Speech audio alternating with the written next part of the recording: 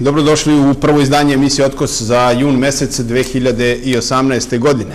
Poštovani žeteoci, srećan vam početak žetve, jezda je najraniji, ali ipak krenula je žetva ječma u pojedinim regionima, ali bogami i u našoj Bačkoj, što ćete imati prilike da vidite na samom početku emisije.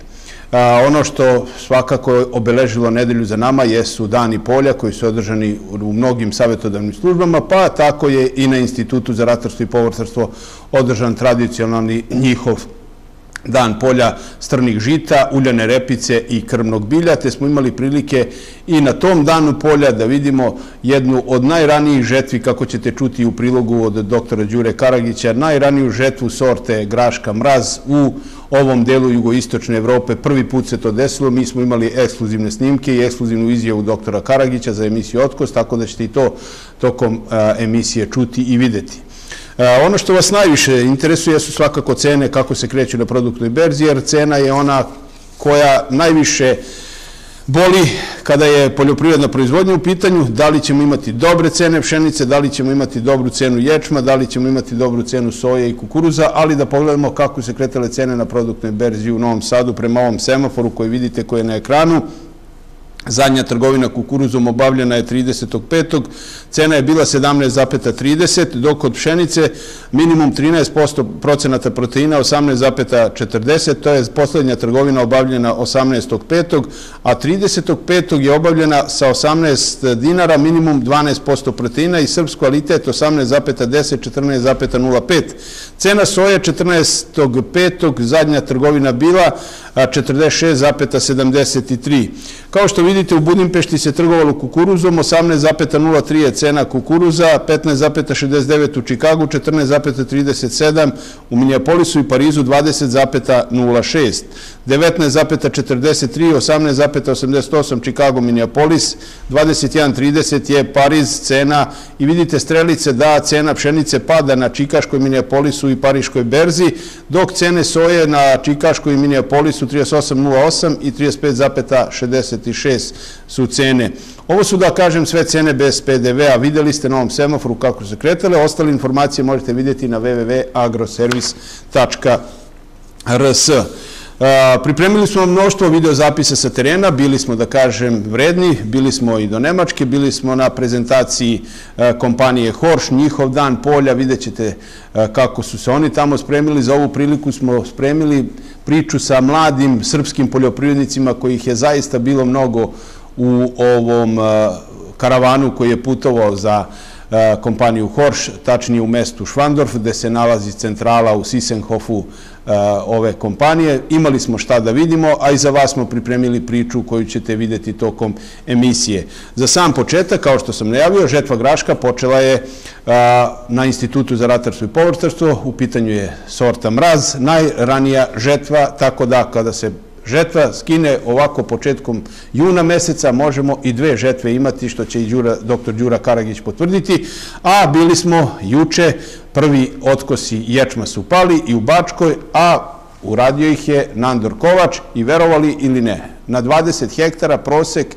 njegovog ječma iznosi preko 4,7 tone po jutru, a to je Novosadski 565 ječam, jer Nandor Kovač isključivo seje domaća semena. Pogledajmo ovu priču, a potom u studiju Radislav Jovanov, predsjednik Zadružnog saveza Vojvodine, najavit ćemo jednu značajnu manifestaciju koju organizuje Zadružni savez u saradnji sa pokrajinskim sekretarijatom, žetveni dan, s obzirom da je žetva ranije krenula, mislim da će i žetveni karavan tako biti organizovan u skladu sa početkom žetve pšenice. Ta, stoga predlažem da krenemo sa emisijom, a potom u studiju prvi i vaš gost, kao što sam rekao, Radislav Jovanov, predsjednik Zadružnog saveza Vojvodine.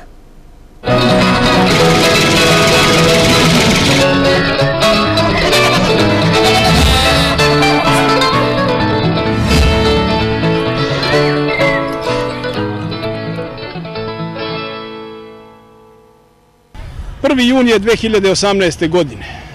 Zašto ovo kažem? Kažem iz jednog razloga, što iza nas vidite kombajn, kombajn koji žanje grašak.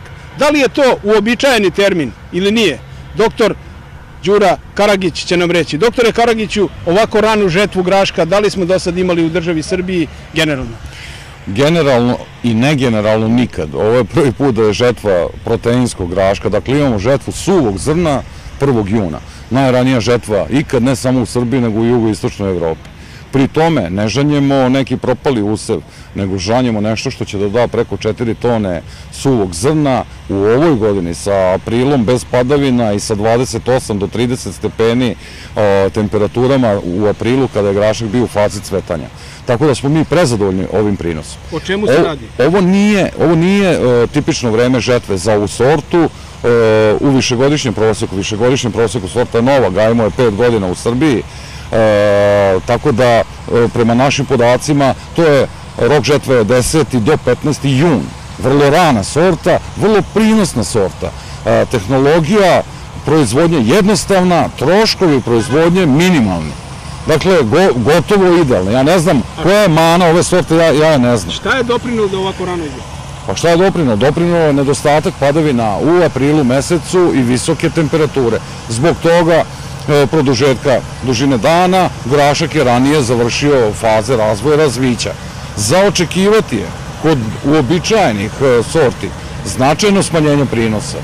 Ovde će smanjenje prinosa biti minimalno. Ovo je i za vas novo iskustvo? Ovo je potpuno novo iskustvo. U svetu proteinskog raška, istorijski moment žetva 1. juna u Srbiji.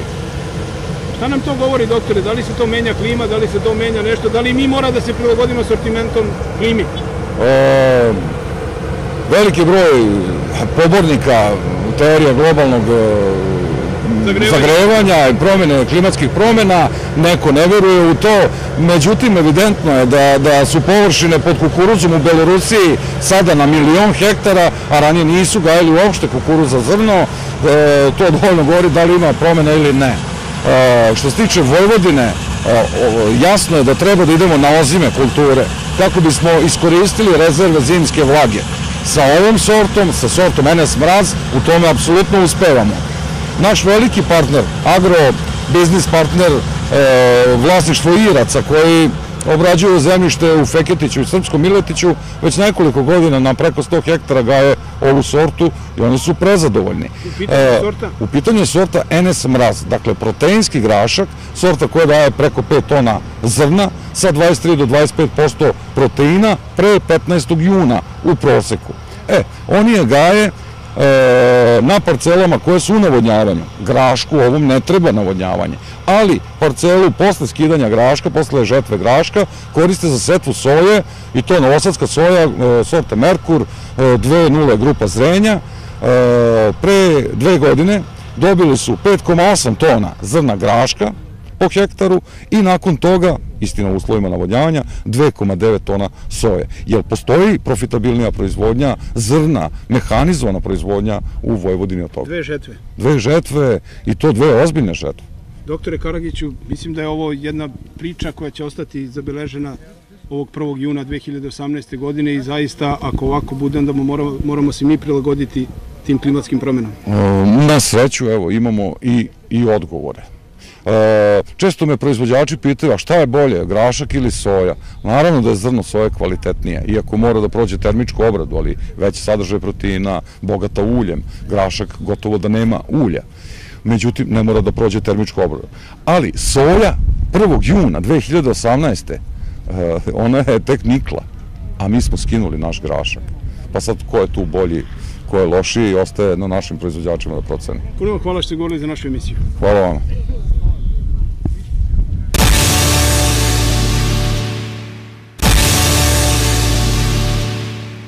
Počela je žetva ječma na imanju Nandora Kovača. Gospodine Kovač, izuzetno vreme omogućilo vam je da počete da radite. 1. jun 2018. godine vi počeli žetvu ječma.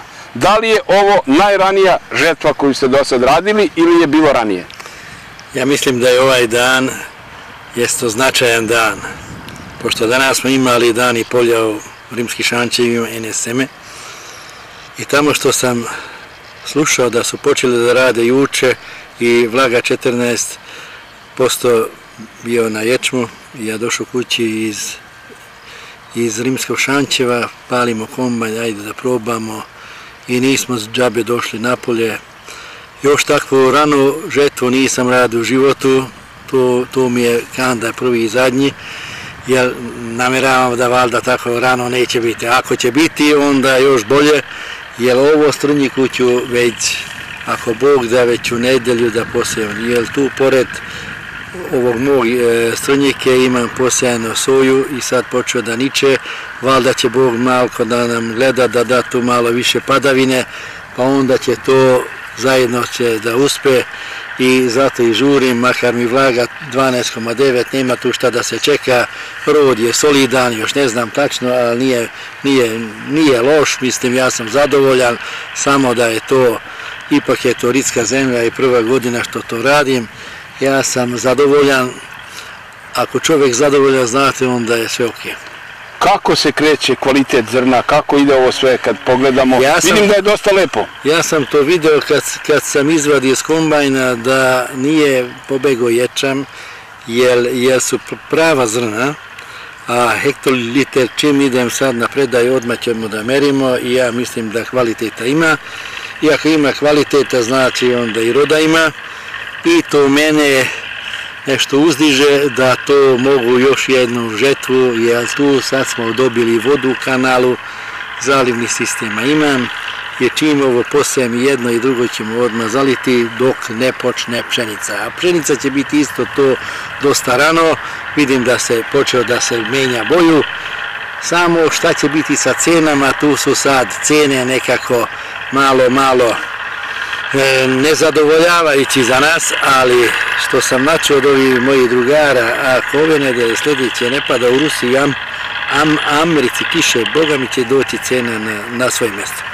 E sad da pogledamo još koliko imate pod ječmom, koliko imate pod pšenicom. Pa ču, čujte, ja tu imam ječam, stalno imam tu 30-35 jutara ječma, imam tu sad što ćemo to i 20 hektara, a pšenice imam 60 hektara i to ćemo čas poslati. Imam dosta sve rane sorte i i to, to ćemo da vidimo. Kad Kombajni spremni, sve spremno? Kombaj kod mene se, ne može to da se zavaravamo, mašine moraju da bude spremno, za start samo stisneš drme, mora da se radi. I završavamo žetvu, što bi rekli ona. Pa čujte, to ja... Početak, ali ja brzo kod nam ja to, ja to svima želim, svi moji paorima, da se to uspešno urade i da to što pre, ako Bog neki oluj, ali prošle nedelje smo dobili malo i grada i, i nevremena, malo više kiše, daj sreću da i dobijemo pomalo i onda si, da ne prođemo kao plane, da nećemo, ja se nadam i sad ako Bog da, to će već biti u nedelju posajano, sa drugim usevom, tako. Srećan ti rad, Nandor. Hvala, hvala. Živ mi bio. Hvala. Čuli ste i videli iz prve ruke da je žetva počela i danas je isto Nandor Kovač radio. Javio mi je, zato sam rekao da kakve prinose je ostvario. A dobrodošlicu želim predsjedniku Zadružnog saveza Vojvodine, Radislavu Jovanovu. Dobro večer, dobro mi došao. Dobro večer, bolje te našao. Videli smo priče dve zanimljive. Juče na danu polja ste i vi bili, gledali ste tamo, prvo žetva graška po prvi put u jugoistočnoj Evropi, doktor Karagić kaže, počela je žetva ječma, ispred Zadružnog saveza ovako svi očekuju da okarakterišete, da iskomentarišete sve ovo. Pa jednom rečenicom, čudna godina je počela. A što ne znači da će biti loša godina. Znači, videli smo iz ovog priloga e, žetve ječma, da je prinos sasvim e, zadovoljavajući, da je kvalitet, da će biti dobar, znači ne znači to što je počelo neprimjerno rano, danas je 2. juni, da će biti godina loša, ali je stvarno neobičajeno da se to još nije desilo, svi imamo dovoljno godina, da se tako rano krene u žetu ječma. Uvijek je to bilo negde oko sredine. Oko 15. juna. Oko 15. 20. juna. Početak žetve pšenice negde oko 1. jula, ali sve će se pomiriti sigurno za jedno dve nedelje. Vratili ste se iz Čoke danas i videli ste na terenu šta ste mogli da vidite? Isto se iznenadili, pšenica zri, tako da mi smo planirali i organizovat ćemo, kao što ste najavili u, e, u, žetvenom karavanu ćemo... Da, da, ali znači puno će ranije e, krenuti žetva pšenice. E, da ja ovde, pre nego što krenemo oko cene, mi smo na danu polja juče jednu anketu napravili, dve ankete ćemo pogledati šta kažu Vrbašani kada je cena pšenice u pitanju, a potom ćemo vidjeti i anketu sa dana polja Instituta za ratarstvo i povrtarstvo, išto sa poljoprivrednicima smo razgovarali na ovu temu predstojeće žetve i otkupa pšenice po kojoj ceni, pa ćemo nastaviti ovde u studiju da razgovaramo. I danas, pred početak žetve pšenice, ista priča kao i svih godina do sada. Pred ovako obiman posao, cena pšenice muči poljoprivredne proizvođače. Muči ih u toj meri da im se kosa diže na glavi, kad naši analitičari izađu i kažu da tržište će cenu odrediti paori samo što televizor ne razbiju. Ovi isti koje gledate i koje smo slikovali pred početak žetve. Pa šarena je situacija od terena do terena. Po što sam ja vidio, Banat je na Igore prošlo, na drugo mesto je Srem, a standardno Bačka je na prvom mestu kao i prethodnih godina. Mene da neko pitao u marta meseca kako izgleda pšenica, ja bih rekao bit će rekordna. Ali period od meseca i po dana bez padavina, malo me pokolebalo, tako da nisam siguran. Mislim možda prosječna neka žetva da će biti u odnosu na ranije godine. Pa ja očekujem dobre. Mislim, ja sam prošle godine imao 5 tona po jutru, pa nadam se i ove godine da će biti. Bar toliko. Stvarno to niko ne može da prognozira. Zavisi od, od roda, e, očekuje se dobar rod, međutim nije to sigurno. Dok ne uđu kombajn i ne počne ovaj, da se skidaju kultu, pšenica, onda ćemo znati koliki je rod. Jer ima, počele su neke bolesti koje ljudi ipak još nisu navikli da, da prskaju, međutim i prskanje nekad ne, ne, neuspešno bude, tako da ima, ima svašta, međutim ova godina za sad je dobra za pšenicu po našem mišljenju i po stvarnom stanju. Ja sam iz kraja gde kod nas je bilo padavina i kiše, tako da, da kažem, mnogo bolje izgleda nego ovde, ali opet bolesti su svugde prisutne, manje više. Ako nastavi ovako da greje, već idućeg vikenda ovaj pasti prvi otkusi. Nažalost, nemamo dobre vesti za cenu pšenice, jer ovaj, mi smo jako mal region u Srbiji sa proizvodnjom i uvek se oslanjamo, ne oslanjamo, nego cene se formiraju na osnovu velikih proizvođača kao što je Rusija, Ukrajina, pa čak kažu i Meksiko da je on tamo velik proizvođač, tako se cene formiraju na osnovu toga. Mi čuli smo da je na zeleno 15 dinara, nadamo se da će biti nešto veća cena od 15. Pa spekulacije su neke, svi pokušavaju da uzmu po nižoj ceni, mi se poljoprivrednice nadamo nekim većim cenama. Prvo je bilo priča da će početi sa 15 dinara, ali juče u razgovoru sa ljudima s kojim smo danas ovde, neke nagoveštaje su možda 16-17 dinara početak žetve da bude. Pa cena je velika nepoznanica u ovom momentu. Čak šta više, o njoj se ne priča kao da je sad setva blizu, a, a ne žetva. Trgovci mudro ćute i na kupci preterano nisu zainteresovani, što ne znači da sam ja u pravu ali neke informacije koje imam, mislim da sam u pravu. Ne, ne očekujem ništa, ništa optimistično po ceni, po ceni pšenice. Ja ne znam, vidite šta ću vam kazati, nema tu neke procene velike, tu ispod 20 dinara ne bi trebalo da bude pšenica manja. Ja, po, po meni bi trebala neka pšenica, cena pšenice treba da bude negde oko 21 do 22 dinara. Ipak, da bi se malo ljudi stimulišali više ovaj, što se tiče toga. Evo vidimo, svedoci smo svi da više utiču, ovaj, da se seje više uljana repica, ovaj, žita jako malo ima. Šta će biti do kraja vidit će se, ali ne verujem da će više biti od 20 dinara. Ne očekujemo baš mnogo. Priča se vidjeli sad do 20 dinara, a neće biti 20, neće biti, priča se od 15 dinara, eto, navodno na zeleno ide oko 15 već neko daje, ali to su samo priče, ali naše su obećanja, ali nek rodi, nije bitna cena, nek rodi. A cena ne zavisi od nas. Ali ako imate prinos, onda cena to je nešto što drugo. Ali ako nemate prinos, nijedna cena vas ne može spasiti. E, sa ovom agrotehnikom koju mi sad radimo, sa tri džubrenja, sa tri prskanja, sa kvalitetnim semenom iz dorednog centra, 16 dinara cena koja neće pokriti troškove koje smo mi uložili i mi se svi nadamo možda pri nekom kraju žetvi ili ostaviti na lageru pa dočekati neku cenu od 20 dinara gde bi bili rentabilni i za koje bi postao razlog da se proda ta pšenica. Pišući ovo iz ugla poljoprivrednih proizvođača, svestan sam činjenice da ravnomerno moramo podneti teret ovog cenovnog problema pšenice, ali bojim se da opet ovako najveći teret će izneti, a ko bi drugi nego naši paori. Ovo je bila jedna priča gde smo imali više poljoprivrednih proizvođača. Vaš komentar na ovo ispred Zadružnog saveza, kako gledate predstojeću žetvu šta će se dešavati po vama? Izvolite. Pa ja moram da kažem, uvek ista priča ispred žetve. Nažalost, ali je tako, godinama. Mnogo se toga ne znam, zna se samo ovaj, dan, otprilike sad, sad se to ne zna kad će početi žetva, inače ne znamo ni kako će biti prinosi, ne znamo ni kako će biti cena.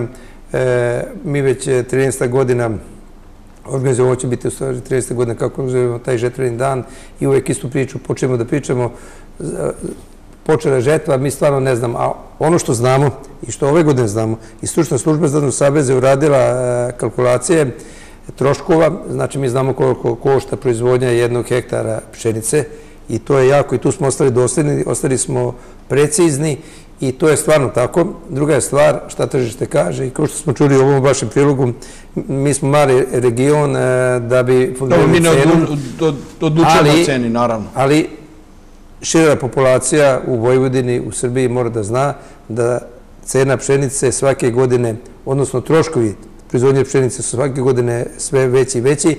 E, proizvođači teže, isto smo čuli u prilogu, da imaju više i veće prinose. Čim imaju veće prinose, oni imaju veće ulaganje, tako? Znači, mi smo dužni, tek sad smo dužni da kažemo koliko stvarno, realno košta hektar. hektar proizvodnje pšenice na današnji dan. Da pogledamo još jednu priču. Ova priča je sa dana polja Instituta za ratarstvo i povrtarstvo, gde su bili isto poljoprivredni proizvođači u velikom broju. Sa njima smo isto napravili anketu, pa se ponovo vraćamo u studiju, ali slična je priča ili gotovo identična kao ova iz Vrbaškog atara i atara u okolini e, Švandorfa, gde smo snimili razgovor sa još dvojicom koje smo dodali u ovom prilogu. Kada je početak žetve pšenice u pitanju, onda najvažnije je u ovom trenutku šta kažu naši poljoprivredni proizvođači. Otuda smo i sami napravili anketu na danima polja, u želji da iz prve ruke saznamo kakvo je raspoloženje pred ovako važan posao. Do duše, neki nisu hteli pred kamere, oni koji su stali nevoljno su obrazlagali temu. Utisak je da su ljudi razočarani, da jednostavno ne znaju šta im je činiti, no procenite sami da li se razmišljanja naših sagovornika podudaraju sa vašim ili se ona razlikuju po pitanju žetve i ovogodišnje cene pšenice. Pa vidite ovako, žetva će možda i da bude vrlo brzo u delovima gde nije pokisla pšenica kod nas. Meni se tu nalazi Zvezdana, Zvezdana je zaostala i rastom, ona je i ovako niska, to znamo, znači kako sam rekao, 20-30 cm je požutilo. Ja to očekujem možda najranije od ovih zadnjih godina, to je odmah posle, ako budu vrućine velike bez padavina, to je možda i posle 20. i 25. će e, sigurno biti. Pa ne smijem ništa da vam kažem, jeste, ovaj, uspeo sam, prskao sam i i odoleva, ali ipak je jedan postotak je malo uzelo, kao što vidite i ovde, malo uzelo života, što kažu šćenci. Pa ja mislim za jedno deset dana.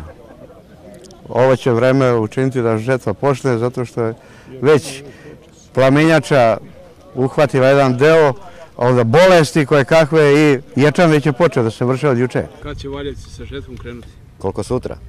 Šta znači to? Pa stigo nam je ječan i grašak. Samo ako vreme dozvoli, krećemo sutra.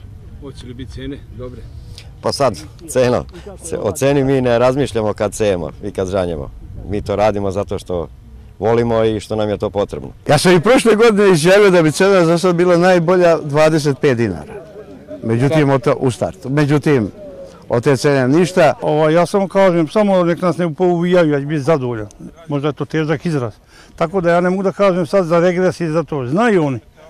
I ova moja izjava što ja to kažem i znam da kod kolege, kod prijatelja ovoga moga stavno izjavljuju, ali nema tu sluha i tako. Pa o ceni to je večito, tradicionalno pitanje bez odgovora. Ne znam, stavit ćemo u šupu koji svake godine pa ćemo gledati šta ćemo posle. Pa treba, ja slušam vaše emisije i znam, stalno se borite vi stručnjaci to za kvalitet, mislim, mi poljoprivrednici ne možemo ništa u sad u novinama, da u prošlom i predprošlom broju kad sam pogledao da će pšenica treba bude 16 dinara. Tako sam slegao ramenima, rekao supruga daj mi skuvalje jednu kafu da malo ublažim na ove troškove, što je malo malo. Smatram da i ovi ljudi koji rukovode s tim treba da imaju dušu i to da malo misle kakav je taj seljački život. A da bi znali kakav je, vidite da sve ode iz... Da sam jedva zaustavio od pet unuka jednog da bude. Sada ostajem sa 30 hektara bez, bez unuka, s kim da radim. I ostao je i samo priča, deda ti si mene jedan prevario, a ja ga pričam da idu bolji dani i tako to. U stvari, ovo što ste čuli od poljoprivrednih proizvođača je naša realnost. Od nje pobeći ne možemo, a odluka je isključivo vaša. Da li ćete predati ili prodati pšenicu?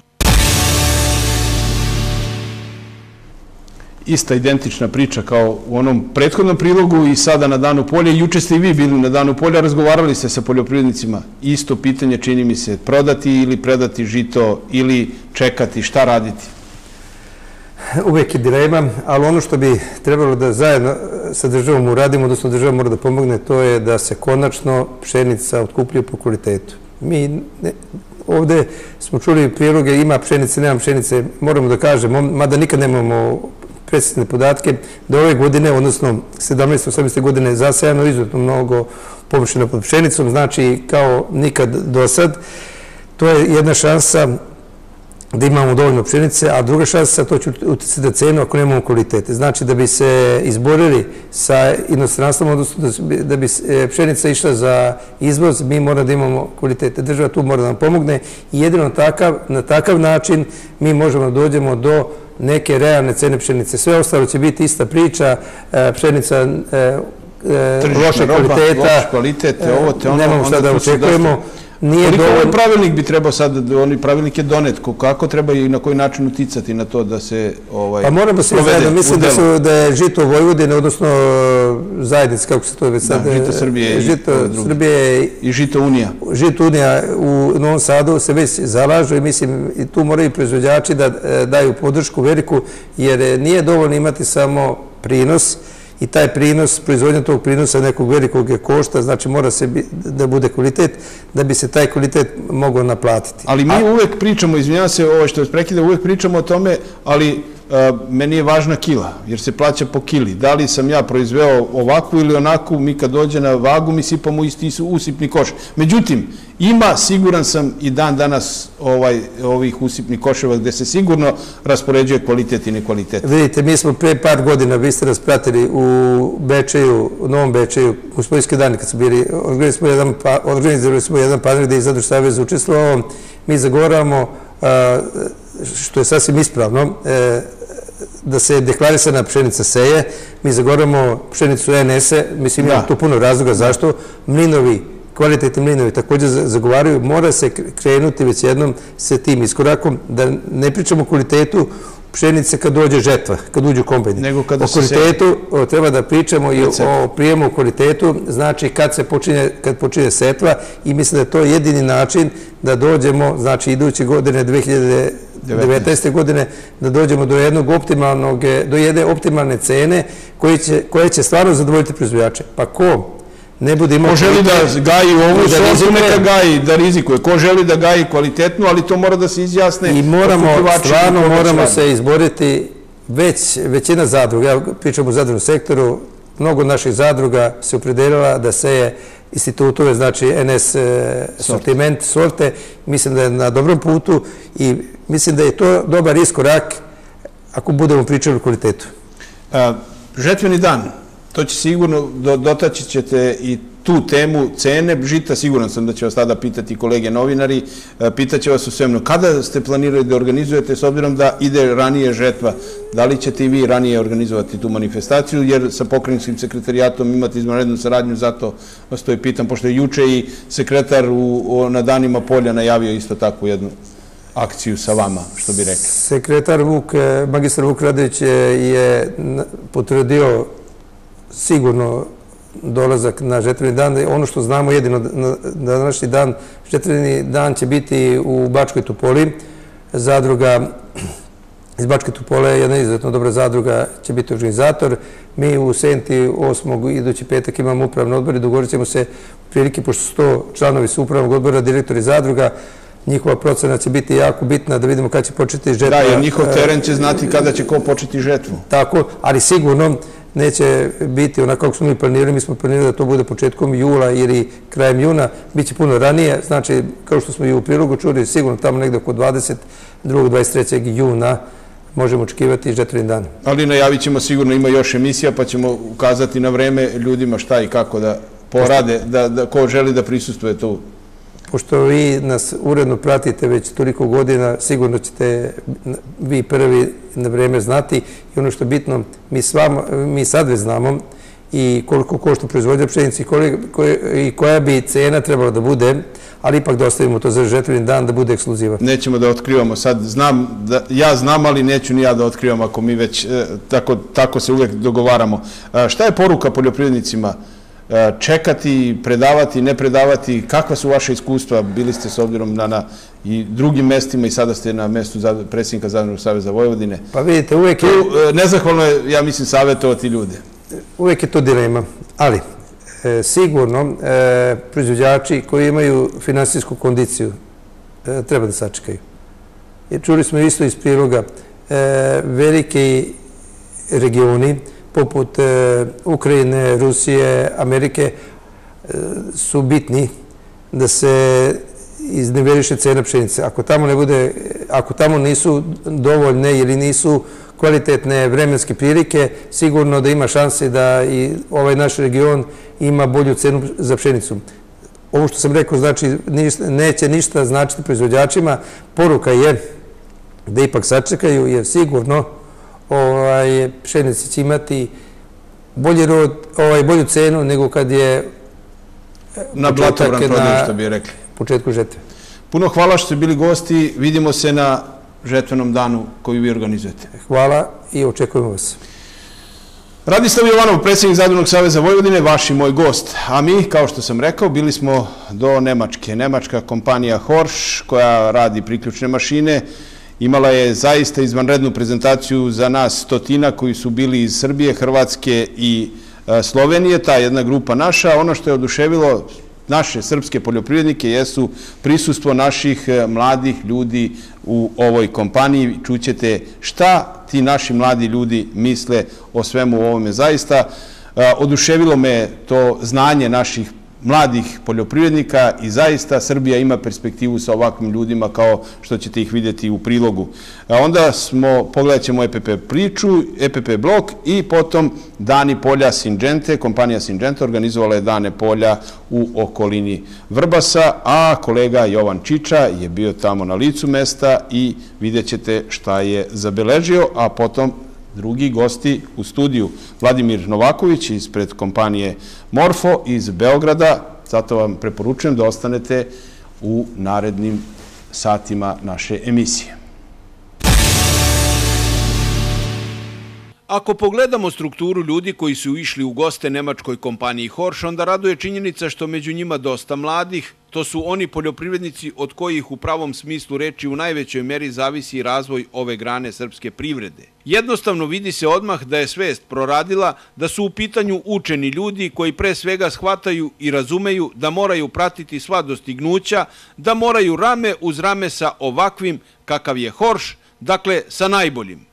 Ono što je meni posebno drago jeste da smo ovom prilikom imali ovaj, posetu dosta mladih poljoprivrednika. Znači, ovoga puta su očevi odlučili da umjesto njih na put ovaj, pođu znači, njihovi i to su momci koji su 17, 18, 19 i 20 godina otprilike i ono što je mene oduševilo danas na, na poljima i na prezentaciji znači u hali jeste interesovanje tih mladih ljudi što znači da ovaj, srpska poljoprivreda ima budućnost. Bilo je lepo naći se u društvu srpske poljoprivredne mladosti, čuti njihova razmišljanja i razumeti da kogod hoće da radi na zemlji, taj može krenuti odmah bez obzira na start. Evo nekih akcenata koje će samo potvrditi naše navode iz uvoda i otvorit će daleko veću šansu i ostalima koji razmišljaju u kom pravcu i zašta se opredeliti. Pa došli smo ovde ovaj, da posjetimo fabriku Horša njihovo imanje i da se upoznamo bolje sa njihovim mašinama. Prezadovoljni. Baš, smo, baš smo imali svašta da vidimo. Vrhunsku mehanizaciju, vrhunska polja što, su te mehani, što je ta mehanizacija posejala perfekt je sve. Pa kao što sam korisnik poljoprivrednih mašina od proizvođača Horša, nisam ništa drugo očekivao i od prskalica njihovih. Isto takođe vidim da su to mašine dobro kvaliteta. Sada što smo pogledali, to je trenutno interesantna mašina prskalica, da kažem veliki broj prednosti smo ostalih mašina, veliki broj sekcija na, na, na, na krilima, kopiranje terena, znači sve je fantastično. Po trenutno naj, najinteresantnija, najatraktivnija prskalica na tržištu. Videli smo pre svega njihove mašine. Uh, najnovije što sad evo prskalice za mene što su predstavili, uh, kako to radi, naravno princip rada njihovih mašina i ovaj i bili smo kod njih u njihovom kako se to zove nekom centru. Pa utisci su veoma dobri, naučio sam nešto novo. A, veoma sam zadovoljan sa Horš mašinama, sa svim savremenim tehnologijama koje one pružaju i smatram da su jedno od najboljih u svetu i veoma će doprineti našoj poljoprivredi i u svetu. Došao sam da vidim savremeniju mehanizaciju i da se usavršavamo. Po domaćinstvu je jako lepo, jako su lepe mašine. I... Vi imate isto? Imamo isto dve serice Horšove. Hoćemo na proleće da uzmemo, na jesen da uzmemo još, još jednu tanjiraču. Koristimo, imamo tri mašine. Tigera, Terana i sejalicu osmoredno učeno. Povrhunska mašina, jaka, čvrsta, bez problema učemo, imamo Tigera 4-5 godina, nikad ništa. Kači vozi, što bi se rekla. Imamo, imamo, imamo mašine, imamo Tigera, Horša ovaj, i imamo dve sjačice, jednu kukuruznu, jednu žitnu. Ovaj, pa preci, izuzetno su precizne mašine, Svi, mislim, nama se sviđaju kao firmi. Ovaj, preporučuju bi svakome, pre svega. Onda uzimat ćemo još horš mašina najverovatnije. Pa imam iskustva u mašinama, pa kao što sam spomenuo, taj kvalitet samog materijala. Njima radite? Sa njima radimo, da, imamo pojedine mašine i Kako nadam se... radni učinci, kako su? Pa imam sejalice, radni učinci su negde oko 5 hektara, 5,5 hektara na sat sa nekom brzinom od 10 km na sat. Samim tim može dnevno da se poseje u jednoj smeni i do 50 hektara. Sa Horšom? Pa za sada, e, pravo da vam kažem, nismo imali nikakvih e, grešaka, nikakvih promašaja. Stvarno e, fantastične mašine, znači godišnje obrade kukuruzno oko 2000 hektara godišnje poseje, što usluga, što naših useva. Tako da bukvalno imamo, da kažemo, taj veliki servis na kraju ili na početku sezone, odradi se sve kompletno i eventualno u toku sezone ako se odradi još neki ležaj, znači minimalno nešto bez stajanja. Brza setva, prilično precizna setva i to je to. Sa utiscima da je ovo ekstra, da su stvarno namestili čudo i da su, da su država u državi sa jako lepim utiscima. Dosta smo saznali više o tim mašinama, o novim. Voliš li to? Volim, volim. To je na prvo mjesto. Se usavršavamo da idemo dalje, pomažemo roditeljima. E, redko, jako, jako slabo. Znači to je to, da kažemo, ne znam, veći poljoprivrednici i par sitnih poljoprivrednika prati tu tehnologiju, ali moramo gledati na sve, znači i ušteda goriva i, e, na primjer, ovde ušteda otrova, ušteda vode, sve to mora da se pogleda, da se sabere, da se oduzme i da se pogleda krajnji rezultat. Pa nema šta, ekipa je jeste mlađa i baš je lepo je družiti se i biti deo, član ovog putovanja i, i biti deo ove ekipe. Zadovoljan sam što sam došao, ovo su jako, jako kako zove, pametni ljudi što su osmislili sve ovo, da dođemo da vidimo. Da, da ima volje za mladi da ostaju na selu i da rade, da se bavi poljoprivredom. Ipak ćemo mi nešto doprineti s to što smo videli, pričati roditeljima. To govori da će da, ovaj, da mlade ljude zanima poljoprivreda i da će da nastave da se bave sa njom. Pa mi kući svi radimo, ima nas 14 sedmoro dece, svi smo angažovani, radimo sve, sve u fulu. Ovaj. Tipa pre dve godine došao je malo stariji brat, evo sad mi mlađi dolazimo, tako će biti i sledeće godine dolazit će još mlađi. Pa preporučio bi svakome da dođe i mladima i starijima, jer opet prikazuje se novija tehnologija, treba ići u korak sa tom novom tehnologijom, jer velika je ušteda, velike su prednosti i moramo gledati na sve to. Da, vrlo sam zadovoljan i mislim da svi treba zajedno da nastavimo da radimo. Volim i porodični biznis i sam svoj gazda, to je najbolje. Da smo velika podrška, kući pomažemo roditeljima koliko god možemo i oko savremenije tehnike lakše nam ide nego starije. Pa mene je zadržao samim to što e,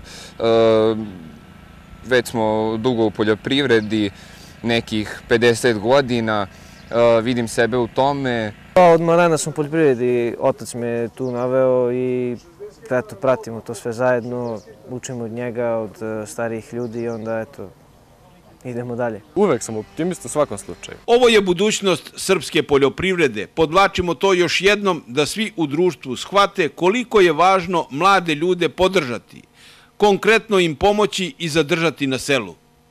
Našim sagovornicima hvala za razgovor koji ostaje u arhivi i našoj i njihovoj i koji će dobro doći da se svi zajedno podsjetimo kroz koju godinu kako je to bilo na studijskom putovanju u kompaniji Horš.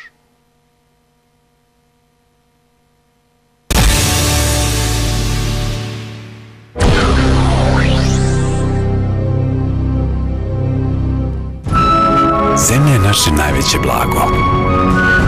I moj otac od uvek govori da kada zemlji činiš dobro, ona ti samo boljim vraća. A kada želiš da ti da najviše što može, ti joj daj najbolje što imaš, pa će imati i onaj ko te nasleđuje. Za vrhunske rezultate na svim usevima nova kompleksna đubriva Elixir Zorka. Svetski kvalitet proizveden u Srbiji. Elixir Zorka. Dobro za zemlju.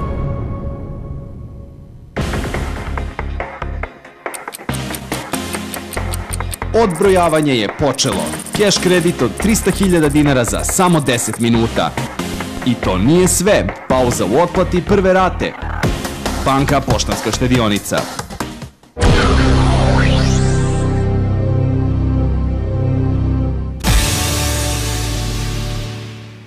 I ove godine Sinđenta je na svom danu polja pokazala zašto je među vodećim kompanijama na tržištu Srbije. Poljoprivredni proizvođači koji su se okupili u velikom broju imali su šta da vide i naravno da iz prve ruke čuju sve ono što ih je interesovalo. A samo polje pod Sinđentinim kulturama izgledalo je izvanredno, što govori između ostalog o kvalitetu semena, ali i onih koji su stavili potpis ispod ovih parcela. U pitanju je poljoprivredno gazdinstvo Šuvakov koje je islikovito pokazalo šta se sve koristilo od pesticida da bi ovo izgledalo ovako kako izgleda, bolje nego ikad. Za ovu priliku mi smo zamolili stručnjake iz kompanije Sinđenta, Ljubišu Elesina i Jelenu Oljaču da nam nešto kažu. Mi smo ovdje danas izabrali odabrane naše saradnike koji su se odazvali našem pozivu i ono što je bitno, znači uspećemo da se posvetimo svakom gostu, znači da svakom odgovorimo na pitanje. Proizvođači su imali priliku da vide koje hibride nudimo, u kojem obliku, odnosno kojem vidu tehnologije, koji su herbicidi preporučeni u tom vidu tehnologije gajenja, šta ti herbicidi mogu, šta ne mogu, koje probleme po pitanju korova rešavaju, koje rešavaju nešto lošije i imali su priliku u razgovoru sa nama i mi smo odgovarali takođe na njihova pitanja da se konsultuju šta u nekim narednim godinama, shodno tome kakve su njihove parcele i kakva je namena gajanja suncokreta, izaberu iz naše velike ponude. Pa što se tiče proizvođača ovih danas ovde možemo reći da su ovo uglavnom sve profesionalci, predstavnici firmi koji znaju jako dobro svoj posao, ali naravno da Syngenta uvek kao jedna vodeća svetska kompanija uvek ima nešto novo da ih ponudi. Ovde što se tiče konkretno danas na polju kukuruza, ono što smo mi e, želeli da skrenemo pažnju, to su dva nova hibrida kukuruza. Prvi je Korintos u grupi 300 i drugi je Atomik koji je u grupi 500. Znači to su dva nova hibrida koja će sledeće godine biti u prodaji. Pored toga, ove, danas smo ovde skrenuli pažnju na dva nova herbicida koja su ove godine u prodaji. Prvi je Kamix, znači jedan herbicid u kukuruzu koji može se primenjuje posle setve pre nicanja ili kasnije posle nicanja kukuruza do tri lista kukuruza. I pored Kamixa još jedan novi proizvod ove godine prvi put u prodaju, to je herbicid Milagro koji rešava kompletno, znači sve širokolisne i uskolisne korove u kukuruzu i možemo reći da ove godine odlično se pokazao na terenu kao i ovde danas što su proizvođači imali prilike da se uvere. Takođe, Kalaris herbicid koji je već jedno treća godina u prodaji, znači on je već sad postao standard, proizvođači su prezadovoljni posebno ove godine kada je veliki pritisak i širokolisnih i uskolisnih korova, tako da možemo generalno reći da su proizvođači zadovoljni ove godine sa Singentom. Poljoprivrednici su imali razloga za zadovoljstvo jer bila je ovo jedinstvena prilika da vide ono što većina njih zna, da je Singenta u sferi svog delovanja bez premca, da ima šta da pokaže kako na polju semena i hibrida, tako i na polju zaštite bilja. Evo nekih akcenata, onih zbog kojih je dan polja i napravljen. Tako da sam došao da pogledam kakvi su usevi, kakva će biti ove godine žetva ovih useva. Što mene tiče Sinđenta, sarađujemo sa njima već dugo godina, pošto ja već imam dosta godina, tako da uglavnom smo zadovoljni sa suncokretom, jer suncokret je prva liga što se tiče Sinđente, to već svi znaju, već smo počeli njihove nove sorte da koristimo, hibride, pa, pardon, tako da vrlo smo zadovoljni što se nas tiče ovde. Videli smo da, da ovde kod našeg druga i prijatelja do, dobro izgledaju svi u sebi. Posećujem redovno, da kažem, ta predavanja, ona zimska koja održava i ova Sinđenta, a i druge ove firme, ali ipak je kad se vidi na licu mesta ono što kaže kako izgleda, to je onda nešto posebno. I ovaj, a naučio sam, uvek ima pitanja, znate, i uvek kaže, zato, zato je poljoprivreda interesantna, što je svaka godina različita. Od kada, stvarno, što se tiče Sinđente, njihovo suncukret i pšenica, on, to je ponelo prinose daleko, podiglo u stvari prinose mnogo više, mislim, znate. Ovo im, ovo im je zaista, mislim, vrhunska onako, bar za moje neke skromna shvatanje. Danas sam video ovaj, suncukret, kukuruz i pšenicu. Pa utisak je dosta dobar. Šta da vam kažem? E, kako je vreme uticalo proletos, usevi su dosta. Sejemo žito, suncokrete, kukuruze, sve sinđentino, zadovoljni smo. Što se tiče toga, ovde na ogledu je sve odlično. Nema razloga da bude nešto da ne valja padavina nema, to ne zavisi do nas. Diagro dobra tehnika, žisto je stvarno dobro, bar kod mene, ne, ne na ogledima ovde, ali kod mene imamo Sinđentinu i Geniju i Monsum, to su do pojasa žita stvarno. Čak je peduse bila repa, samo tanjirano, znači nije nikakva velika obrada sarađujem dosta dugo i sa vašom firmom Sengentom, sa Sengentom, sejem njihova semena, koristim njihove herbicide i fungicide. Ja sam sasvim zadovoljan. I sa prinosima, i sa kvalitetom semena i tako. Inače, posebno nešto,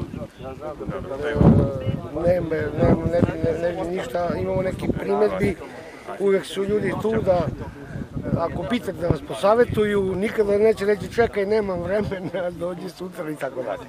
Pa otprilike nešto se i nauči, nešto se i nauči, pogotovo što imam i prijatelj ovde koji je ovde ovaj, u Sinđenti radi i tako preko njega uvek ja nešto novo naučim, nešto novo saznam i uvek sam, ono što se kaže, to su uvek pomoć na terenu, uvek imam. Pa, znate kako, radili smo dosta drugih sorti ili drugih hibrida i kad se pojavila Sinđenta, ovaj, shvatili smo jednostavno da smo dobar prinos imali i, i što kaže ono, više novaca nego tako da nam je bilo bolje.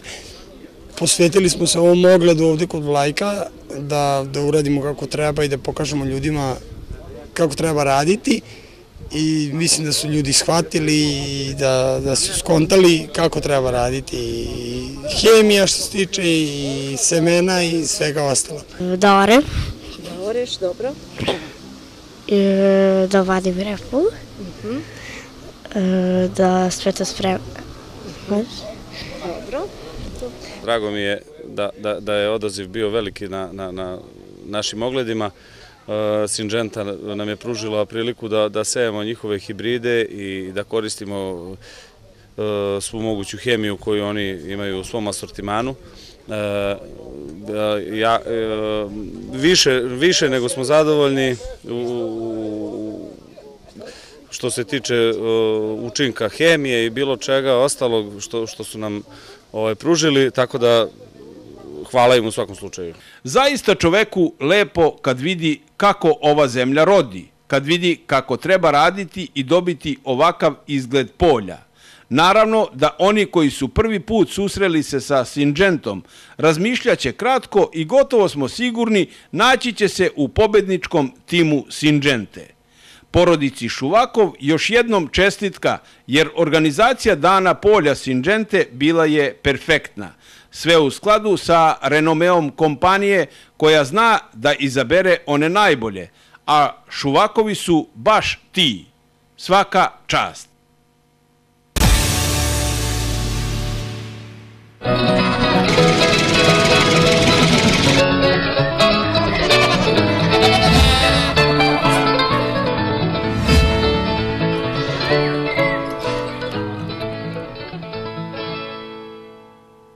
Da, agronom i ja. Agronom Vladimir Novaković iz firme Morfo dolazi, vaš i moj gost. Pričat ćemo o mortonjiku plus i o jednom divnom proizvodu maski. Pre svega, Vladimire, dobro večer i dobro mi došao. Dobro večer. O, ovo što držim u ruci je novo pakovanje, poštovani gledalci. Znači, imali smo prilike ranijim emisijama kada je Vlada Vladimir gostovao da pričamo o manjim pakovanjima, onim većim pakovanjima, međutim, sada imamo i evo jedno pakovanje od 5 kila koje ja ovde držim. Vladimire, Mortonjik Plus, njegova primjena ili ćemo da krenemo odmah sad u startu ovu godinu da mi okarakterišeš kao agronom? Pa evo, e, još jednom dobroveče. E, Ovo što držite u ruci je zahtev tržišta, znači radi lakše primene u velikim prskalicama na većim ratarskim površinama. Napravili smo i pakovanje od 5 kg, znači sada bukvalno imamo a, već 22. godinu Murtonic Plus na ovom tržištu u malte ne pakovanjima za svaku vrstu voćarske, povrtarske, ratarske kulture i za svaku površinu. Tako da a, moram da kažem da u jednoj poplavi folijarnih đubriva, eto, mi smo opstali na tržištu, I ono što je jako bitno reći, e, nismo prisutni samo u Srbiji, prisutni smo u celom regionu bivše Jugoslavije, izvozimo to i u Rumuniju, da kažem u Evropsku uniju, tako da e, opstajemo, opstali smo, držimo se kvaliteta i to je ono što je naj, najvažnije. Kvalitet zahteva i tržište. Ja kada sam bio u mom rodnom mestu u Klini, ima sam prilike da ovaj vidim, slučajno sam u centru prošao i vidim poljoprivredna apoteka, vidim Morfo i vidim Rekotkud Vladimir sad ovde i na, na Kosmetu. Pa, e, moram da kažem da smo mi jako dugo prisutni tamo i recimo u okolini Peći ne priznaju drugo đubrivo, probali su svašta i iz Grčke uvozi ne priznaju drugo nego Murtonic Plus, jer standard, standard, kvalitet, kvalitet i uvek dobiju nekakav rezultat. Tamo je jaka povrtarska proizvodnja, ima i pričam, Znači, da. tamo ovaj, jednostavno ne, ne menjaju to. Tako da smo prisutni na Kosovu, kažem i ostalim regionima, a da odgovorim na postavljeno pitanje e, uopšte o, o, o situaciji, e, Vi se dobro sećate da sam ja bio gost u vašim emisijama i ranijih godina i da smo pričali o folijarnim đubrivima, metodi ishrane bilja preko lista i da je tu uvek bilo pa, pa i tako Da li dalje. koristiti, da, ne koristiti. i uvek je to Nemojte, bilo. to ono, imamo raznih mišljenja je bilo. E, Međutim, ovaj... Šta se pokazalo danas i ova godina, šta nam pokazuje sada kada gledate proizvodne površine? Ja ću to reći, ali evo samo da kažem, ovaj, u međuvremenu imamo preko 30 e, registrovanih folijanih đubriva. Ipak, tržište je tržište. Znači, to, nešto, to nešto govori, to je broj jedan. Broj dva, ova godina fenomenalna za, za folijarna đubriva. Znači, imamo kasne setve, imamo šarene setve, imamo sušu, imamo čekaj da padne kiša da bi poseo soju, bolesti, štetočine, znači ovo je godina folijarnih đubriva. Ja sam došao, evo, danas je prvi, drugi, znači, doš, drugi izvinjam se, došao sam kasno u, u emisiju, međutim, ima dosta zaostajanja u porasu, ima još ulaska i u kukuruz, i u soju, šećerna repa je tu, voće. Nemojte propustiti priliku da iskranite vaše biljke Murtonikom plus, jer ćete samo dobiti i na kvalitetu i na, i na ovaj, kvalitetu prskanja, jer je dozvoljeno mešanje ovaj, e, pr, e, našeg folijarnog đubriva sa svim ovaj, pesticidima, znači u istom prohodu ćete dobiti i zaštitu, iskrenu, više efikasnu hemiju, ne propustite, znači topao savjet, ne propustite, ako ulazite u njemu, da koristite folijarno đubrivo, dobit ćete na kvaliteti, dobit ćete na prinosu, bit ćete na kraju zadovoljni. Od ovog trenutka, ukoliko imate nedoumica i želite da postavite pitanje uh, Vladimiru Novakoviću, evo broj telefona na ekranu. Uh, mnogo puta ste izgovorili topla preporuka, topla preporuka. preporuka. Zašto koristiti Mortoni Plus? Pa vidite, e, prva i osnovna stvar je biljke 12 puta više usvajaju hranu preko lista nego preko korena. To je prva stvar. Druga stvar, kada date granuliranu đubrivu koje se daje i koje se troši u hiljadama tona, tu imate mnogo preduslova da bi biljka mogla to da usvoji.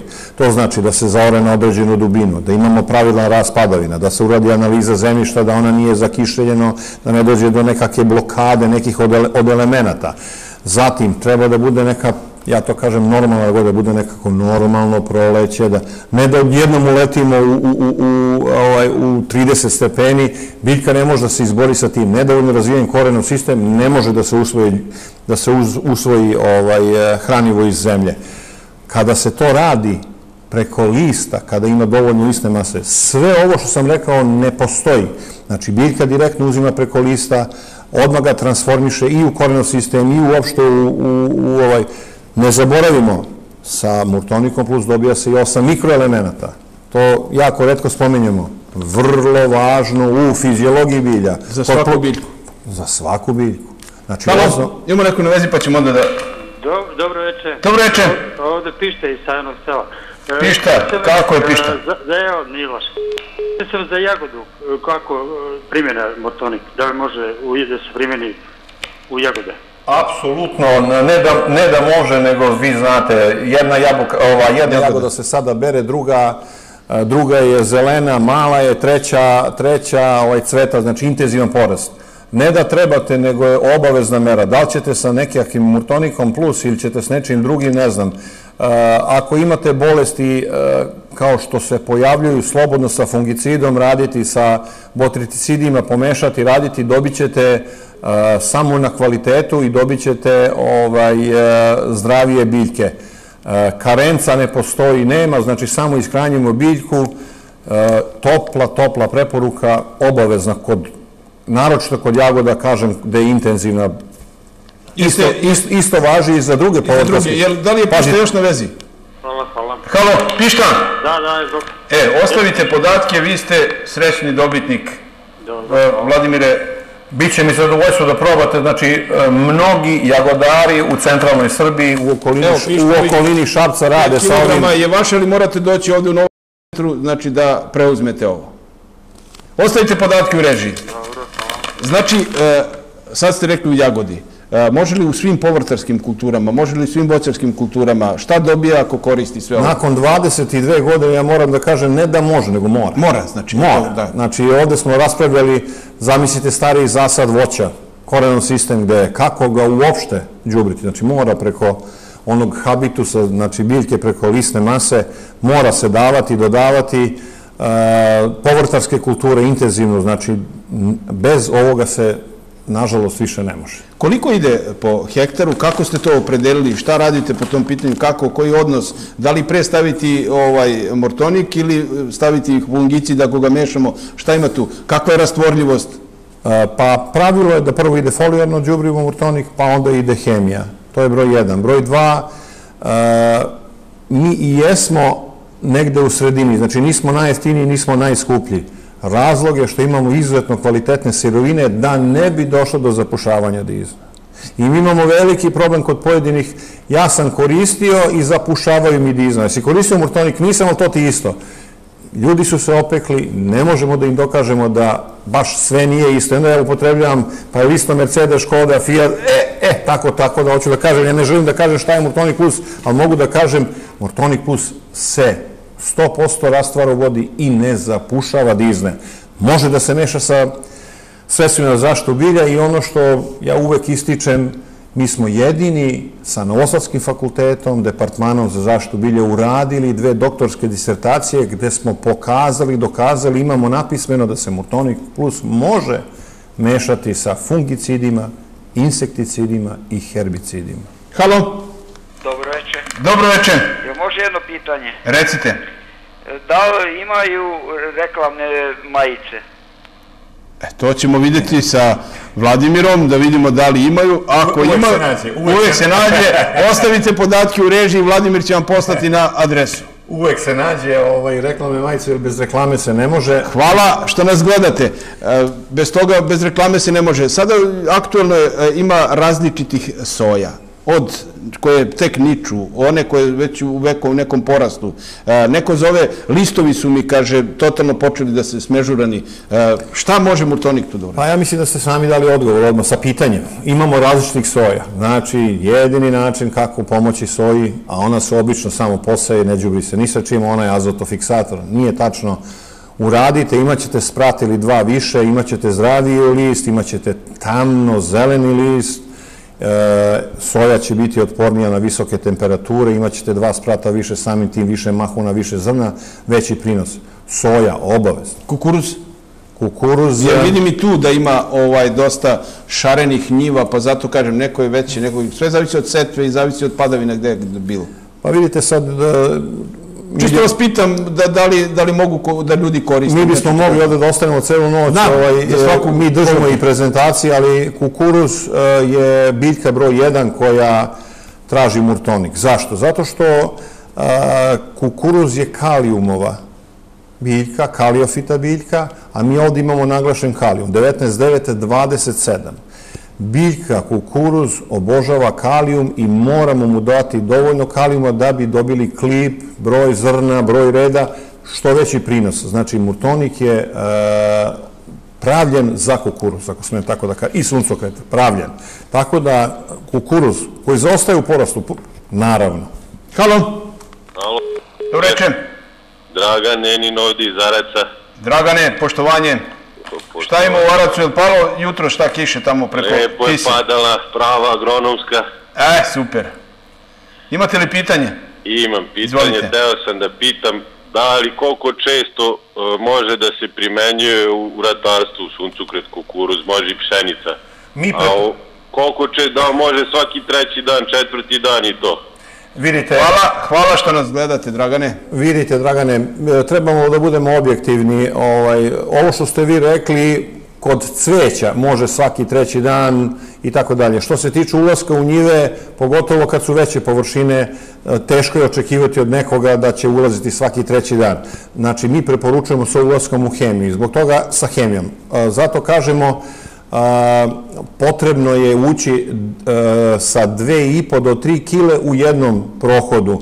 Prepo, preporuka je najmanje dva puta, znači 5 do 6 kila po hektaru, u zavisnosti od stanja uslova, koliko ste đubrili, šta je ovaj bio pre do i tako dalje i tako dalje. Vi pitate da li možete svaki treći dan, jeste, ali verovatno su to neke, mislim, pretpostavljam, manje površine, pa možete da ulazite tri puta da biste na, na ovaj, ali moja preporuka bi bila da idete ipak svakih sedam dana. Dajte bici da usvoji, da transformiše, da izbaci novu listnu masu, tu novu listnu masu posle 7-8 dana ponovo i tako raditi. Inače, u, praksi preporuka je da se radi, recimo, kukuruz kad ima 6 do 7 pera, tad se radi i sa hemijom i drugi ulaz je kada zadnji put možemo sa prskalicom da uđemo. Kad je gušći sklop dva puta po 3 kg, znači ukupno 6, a kada je ređi sklop dva puta po 2,5, odnosno 5 kg po hektar. Sasvim dovoljno, jako lepi rezultati. E, Vladimir je nešto novo ispred firme Morfo, maska. Pa, Upoznajte naše gledalce o čemu se radi i kažete da je jedinstven proizvod, pošto, evo. E, pa, ovaj, želim da iskoristim ovu priliku, znači, predstavio sam nešto jako staro, a to je Murtonic Plus. E, ja sam zagovornik te folijarne ishrane i e, da ljudima bude ovaj, višestruka korist. Rekao sam od kvalitetnije hemije, odnosno efikasnosti hemije, pa sve do ishrane, na kraju do, do tog čuvenog prinosa. Ovaj, I koristim priliku da sada prikažemo i nešto novo iz uh, ovaj, proizvodnog programa maske, to je ovaj, jako svež uh, proizvod i patent koji smo napravili i ove godine dobili dozvolu Ministarstva za ekologiju i životnu sredinu. Radi se o jedinstvenom proizvodu koji se koristi za odbijanje. Znači nije suzbijanje, nego odbijanje svih zemljišnih važnijih štetočina i koristi se u povrtarstvu kod zasnivanja krompira, luka, šargarepe, rotkvica i tako dalje. Znači mi štitimo korenov sistem tako što jednim intenzivnim mirisom odbijamo gliste, rovce, žičnjake, gundelje i tako dalje.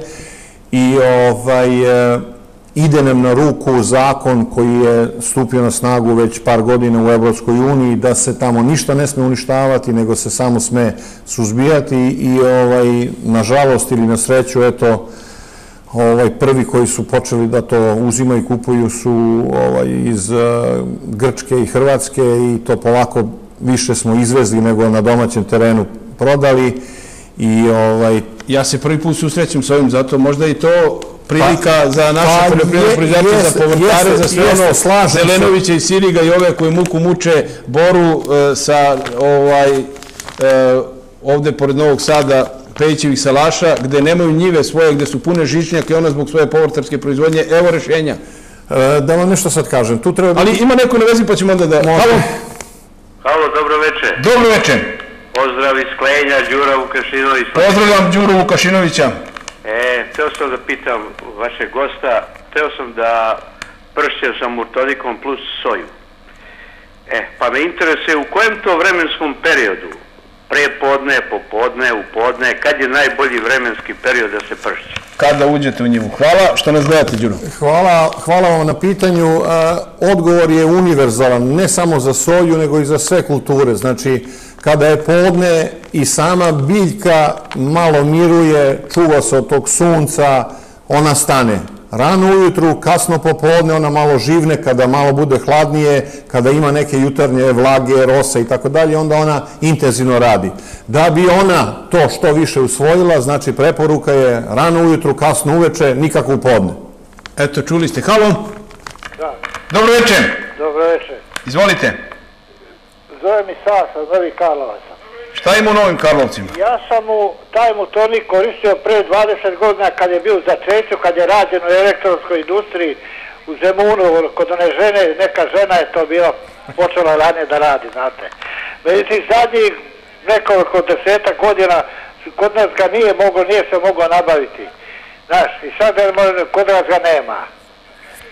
Jel možemo ovog gledalca da nagradimo, pošto pre 20 godina, da mu vi pošaljete? Možemo, a, ostavite... Ostavite podatke u režiji ali, ali odmah da i vam sad će odgovor da vam da Vladimir na ovo i dobit ćete, ali na vašu kućnu adresu Vladimir će poslati ovaj... Odmah ću vam reći, pošto znam gde ste, znači imate ga u Inđiji, imate ga u Maradiku, imate ga u Karlovcima, imate ga u, u, ovaj, e, u Beškoj, imate ga u Krčedinu, imate Murtonika u okolnim selama, selima, sigurno u svim poljoprivrednim apotekama. Znači, tražena roba uvek može Ima, da se... ima, je. da Pa evo, vidite, Da potvrda- nastavimo priču, znači, oko maske, ovo da, da završimo. E, Spomenuli Znači, ste, povrtare. spomenuli ste malo pre, eto, rešenja za žičnjak i tako dalje. Ja bih tu želeo samo da kažem, ovaj, ovo nije magična stvar koja rešava sve probleme i tako dalje. Ovo je jedno sredstvo koje može da nam e, jako pomogne. E, e, mi insistiramo na tome da je ovo proizvod koji nema karencu. E, mi smo svedoci da se na pijace iznose jako rano rotkvice, šargarepe, mlade, luk iz arpađika i semena i tako dalje, ne poštuje se karenca, nije došlo, do, nije došlo do razgradnje aktivnih materija pojedinih zemljišnih insekticida. Mi smo napravili nešto što nema karencu, znači nema trovanja, nema trovanja naše dece, Ovo je nema... potpuno organski proizvod. Potpuno, znači mo- ekološki proizvod, Ekološki, može tako da da se kažem. koristi i u organskoj proizvodnji, ali prva ideja je bila dajte da nađemo nešto rešenje da se mi ne Da trujemo. ne trujemo nas i našu decu. Da nam se ne vraćaju kamioni sa granica, da nam inspekcija ne zabranjuje i tako dalje. Što se tiče brojnosti i da li smo rešili sve žičnjake, znate šta, ako ih ima 100, šta je to što ne može? Znači, ako ih, ali, ako je neka normalna brojnost, imamo efekat odbijanja. Mi smo radili u zatvorenom prostoru staklin, u plastenicima, ne staklenicima, u plastenicima, radili smo na otvorenom. Nikakve razlike nema od postojećih zemljišnih i ovoga našega. Snimamo priloge, bit ću gost u ovoj emisiji, pokazat ćemo šta smo radili. Odlično. Halo? Halo? Dobro večer. Dobro večer, Jovane ovde iz Đale, Miladinov. Ja ovo, kako je u Đali i ovo? Pa, suša. Pa nema svuda kiša, u Đali suša. A, a baš u Đali malo okoline nema kiše. Tamo bliže. Malo slabo, slabije se molimo Bogu u Banatu, a? Slabo, slabo. Izvolite, Jovo. A imam jedno pitanje za vašeg gosta, a da li taj, mm, um, kaže, maska, odbije krticu u portarstvu? Hvala, Jovo, i ne znam, da ćemo Jovu s jednom maskom da nagradimo da odbije krticu. Ako... Bilo bi mi zadovoljstvo. A, Jovo, a, niste prvi koji je postavio to pitanje. Naša ideja je bila, a, naša ideja je bila ovo što, zašto smo ga i registrovali. Znači, krtice su glodari, e, slepo kuće glodar. To je posebna priča. A, niste prvi koji je to pitao, ovaj, u Rumuniji imaju veliki problem i u Rumuniji su uzeli baš da rade to, da vide da li će ovaj miris imati neki repelentni efekat, da. Trenutno ne mogu ništa da vam kažem, ni da ni ne, možemo da probamo, evo koristit ćemo priliku, ostavite podatke. Jedna maska je vaša. Jedna maska je vaška, probajte da vidimo, ako nije problem, javite se, evo neka nam Slaviša bude ovaj, veza, javite samo vredi ili ne vredi da znamo, možemo i da dođemo da vidimo. Poslednje uključenje, e, Vladimire, poruku za kraj. A, Pa poruka za kraj je da ovaj, pre svega ja želim neko normalnije vreme da ovaj, naša poljoprivreda bude kao nekada, da znamo prošle godine je bila suša, ljudi ako i ove godine budu imali loše prinose, to će biti stvarno ovaj, teška godina i uopšte za preživljavanje, tako da pod brojem jedan poruka za kraj molimo, molimo se da imamo nekakav normalan raspored padavina, da nemamo temperature preko 60 i 70, da kulture stignu da isplodonose, da imamo dobru žetvu. Čujem da je počela i rana žetva graška i ječma i tako dalje. Ovaj, to je broj jedan poruka za kraj. Druga poruka za kraj je e, ne možemo da dobijemo ako ne uložimo. Bez uloga nema Pa znači, dobiti. nemojmo da zamišljamo da ne treba fungicid za bolesti, da ne treba herbicid za korove, da ne...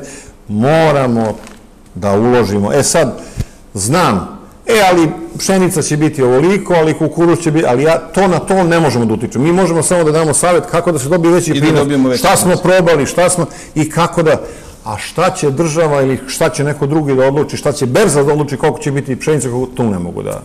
Puno hvala što bili gost. Hvala lepo Ivan. Vladimir Novaković, vaš i moj gost ispred kompanije Morfo, svi koji ste dobili ovde doćete da podignete vaše ovaj poklone, a ovi ostali će dobiti na kućnu adresu. Iz tehničkih razloga nećemo moći da emitujemo dan polja NS Seme, pošto nešto je iskrslo. Pogledat ćemo priču Plavšić koristimo priliku uvek da vam damo savete u stočarskoj proizvodnji. Profesor dr. Miroslav Plavšić će dati ovaj savet o sezonskom teljenju u sistemu krava tele, kako je najbolji mogući način to da uradite. I zajednički prilog smo uradili kolega Stefanović i ja, Čene u maju je održan krajem e, maja, pa smo bili na toj manifestaciji i vidjet ćete kako je to tamo bilo. Toliko za ovo izdanje emisije Otkos, vidimo se sledeće subote, prijatno i sve najbolje.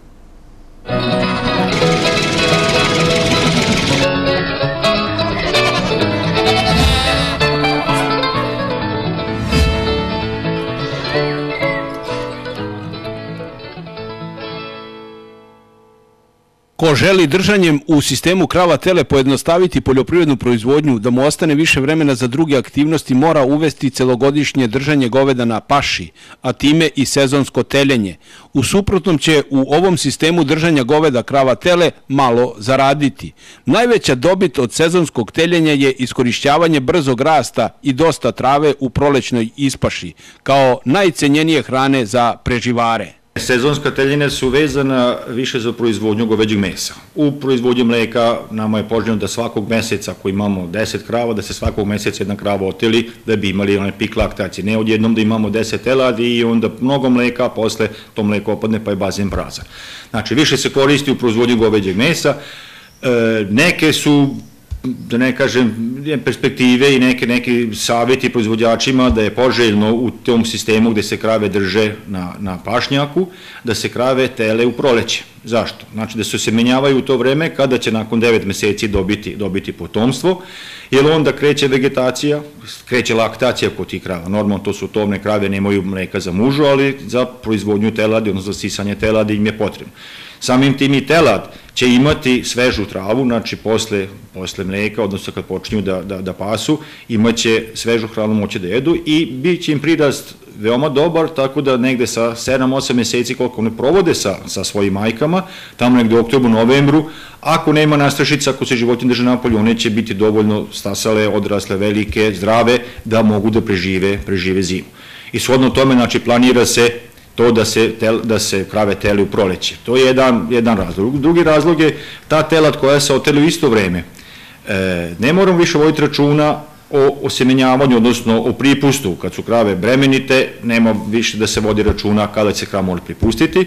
Drugo što ta telad će se, kako se rode, svi će imati otprilike istu težinu. To znači kada budu pristizali, ako je reč o tovu, da će ta telad dotovljavati i prodavati klavničarima i bilo gde izvozite u nesranstvo, oni će imati biti iste težine. Jako je loše ako imate, ne znam, od 100 teladi, 10 teladi su, ne znam, 300 kg ili, ne znam, pri priliku imam pa 400, znači sezonsko teljenje omogućava da grla otprilike u isto vreme stasaju, što je normalno i poželjno da tržište ima, da ima uravnomeno. Samim tem ishrana, ako ta tela dolaze, odnosno već kao juna dolaze u štalu, tamo negde u novembru, decembru, ako nisu prodata, ishrana je mnogo lakše organizovana, jer su sve iste starosti, otprilike iste težine i istovremeno, odnosno na isti način treba da dobijaju količinu hrane koja im je potrebna za svoje potrebe. Pa to nije problem. E, goveda su polijestične životinje, znači svaki 21 dan ulaze u estrus. To znači da vi možete u roku od meseci po dana sve svoje krave osemeniti ili je, što je uobičajeno, e, teže mnogo vršiti osemenjavanje zbog toga što su to životinje koje su puštene. Znači, uobičajeno da se drži, drži bik sa 30 krava do 40 zavisnosti od starosti bika, međutim, E, problem je onda ako je neka rasa koja ne postoji mnogo, onda će doći do uzgoju srodstva, znači za dve, dve godine će vam trebati novi bik. Mnogo bi bilo bolje, recimo, semenjavanje, ali je to veoma velik problem, što tako grla, ako ih imate više, treba životinje pohvatati, treba izvršiti ishronizaciju estrusa i na taj način je nekako teže farmiru. Znači, Pre je i jednostavnije možda što se tiče samog rada da se drži bik sa kravama, ali onda morate imati pregonsko neko, nekam napasanje, jer jedan bik ako je određen za 30 krava, on se ne, sve mešati sa drugim kravom. I posle dve godine, kažem, treba ojiti računa što tiče selekcije, da ne dođe u uzgoju srodstvu, da ne bi bik zaskakao na svoju, ne znam, čerku ili na svoju neku rođaku dalju. U Srbiji na ovu temu sezonskog teljanja malo je napisano i nema dovoljno iskustava. I ovo nas ne sme ometati da sezonsko teljenje ne počnemo praktikovati na našim farmama. Sve to se ne može naučiti iz knjiga i stručnih literatura, već treba započeti sa primjenom na sobstvenim stadima i treba razgovarati na ovu temu sa ljudima koji imaju iskustva sa sezonskim teljenjem. Zato je preporuka pozitivno razmišljati o ovakvom poslu, to jest sezonskom teljenju, koje je pravi put do veće zarade. I ako je uspelo kod drugih, zašto ne bi i kod vas? Pa i ovaj savet profesora doktora Miroslava Plavšića sa Poljoprivrednog fakulteta na ovu temu dobro će vam doći. Čene u maju, u kišnom maju. A, dragi prijatelji, mi smo stigli do onih koji su pobedili po novinarskog žirija. Dakle, predsednik tog žirija Slaviša Dabižević i član Milutin Balaban odlučili su da ekipa iz Rume pod nazivom Gozbaba dobije toj, taj naslov. Dakle, oni su napravili najbolji paprikaš, a evo i njihovog kapitena. Ovo je taj kapiten, ustani Mile, ovo je Mile, Mile, pitaju me ovi bačvani, kakve si to Joco doveo Ajkule iz Srema? Šta je presudilo pa ste pobedili? Jebi ga, najbolji kuvar. Najbolji kuvar? Normalno. Mane? Pa na, hvala Bogu. Misliš da je on? To posto. A gde je ložač? Ne pera, nego Mika. A da, bez Mike nema života. Zapalio gudu kad ima tri godine. Evo Mike, Mika ustani. Mene ide od ruke. Mika je... Zapalio sam gudu kad si imao tri godine. Kad je imao tri godine zapalio gudu, napravio najbolju vatru. Znači, to mi ide od ruke. A evo i Maneta, Mane je Krčko, Mane.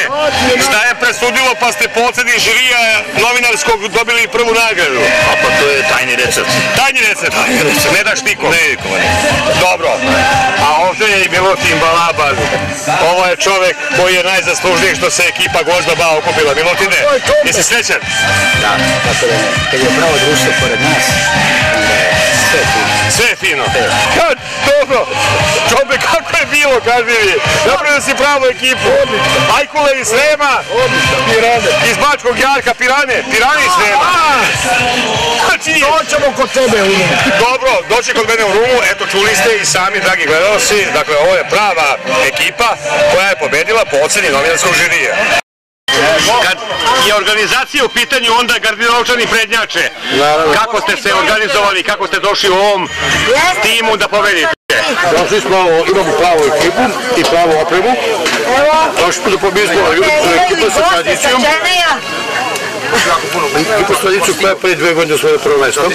Isto tako bio je lep kišan dan. Tako da ovo je kao što je danas. Tako da se i sad nadamo. I sa kupu smanu, ako ne prvom, onda bar, bar prvo mesto se. A vi NSM, šta to znači? To su naši prijatelji i naši ljudi s kojima sarađujemo, tako da to je naša ekipa, sponzori, tako da to je to naš, to je firme. A da čujemo sad kako je NSM topa u Gardinovce, jer su oni poznati po tome što seju NSM. Naravno, naravno. Izuzetni naši dobri prijatelji, veliki saradnici svake godine. Sad našte ovakve ekipa se okupila i nadam se dobro. Dobro, dobro rezultatu, je tako dobro? A ko će da nam kaže nešto o ovim specijalitetima? Aj naopako. Aj naopako rade. Rade. Kažu kad probaš, kad, kad, kad probaš iz Gardinovaca kuleni kobasicu, postaješ zavistan kao da si na marihuani. Ne, ne, kokainu, kokainu, kokaina ništa. Pa je hvala blaža varijanta, izvolite, probajte malo. Imamo i lepe rakije, znate, ovaj, ove naše, to kaže Dunjevač i Kruškovač i tako da bi mogli sad da se vidi tu malo, što kaže, molim vas, momci, jednu rakiju, onu žutu, belu, da nam snimate i. Tako je, a sada da čujemo i baću našeg baća kuva, a vi niste znali, dragi prijatelji, kad hoćete turizam na selu, onda ovaj čovek nudi sve. Gardinovce. Tako je. se provedete. A šta mi nudimo u Gardinovcima?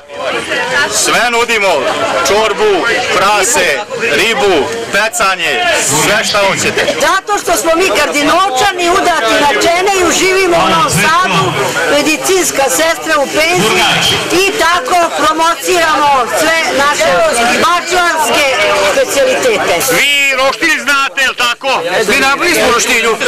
Dragi gledaoci, ajde, važno je učestvovati, a oni ne da su učestvovali, oni su pobedili. Oni nose brend srpskog, oni nose Edes seme i zato su najbolji. Ljudi su poplašeni pa nisu došli od kiše, a kiše nije od korova. Pa ništa boljeg nema nego ovde. I nigde boljeg nema nego ovde. Dragi prijatelji, ako neko uživa, uživaju oni. Predstavite nam se odakle ste, kako ste i šta radite. Zelaca, Klise, ovo su moji prijatelji, ovo je organizator Zoran, organizator veliki prijatelji. On je glavni odgovorni urednik. Še treba, ali dobro ovde zaobišlo ovog puta. Pa evo vidite, poremetilo je sve koliko ima bokseva prazni, nisu mnogi učari došli, nije gostiju mnogo došlo.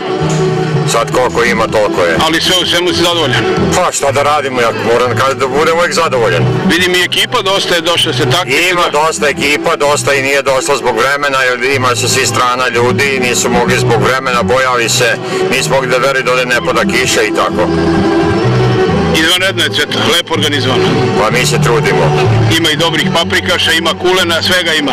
Ima i sira, i meda, i raki, i vina, svakog poneta. Ali Čeneju imaju traje jedan dan. A zašto nema turizma u Čeneju? Da ljudi dođu. Nije to jedan dan. Kod našeg cvete traje to mesec dana. Cveta dok se organizuje, to mesec dana traje. Šta je tajna ovog kulena tvog u Pa, sati? a, vidi, tajna, prvo mora, kad praviš svinjokolj, ne možeš u dve svinje da imaš sve dobro. I šunku, i kulen, i sve. Znači, moraš da imaš 8-9 svinja da bi imao šunku dobro, da bi imao kulen i da bi imao i kobasice. Jer ako odvojiš u kulen dobro, onda kobasice budu krš. Tako da, bez 9 svinja nema svinjokolja. Nemamo krajinske kobasice, mi imamo pokrajinske kobasice koje sam ja krstio. One su ojačane sa našim začinima, s ovog terena. Vuku na krajinske, nisu krajinske, a zovu se pokrajinske. Slaviša, neka ovo bude kraj našeg priče sa Čeneja, sa dana u Čeneju, tako. Neka Dude sedi u studiju kod tebe i neka on priča o ovome. Njega moramo podržati. Ako podržimo prave vrednosti, a Dude je prava vrednost, onda to ima smisla. Hvala specijalno za emisiju Otkos sa Čeneja u maju. Slaviša Nabižević. Pozdrav svima, pozdrav svima.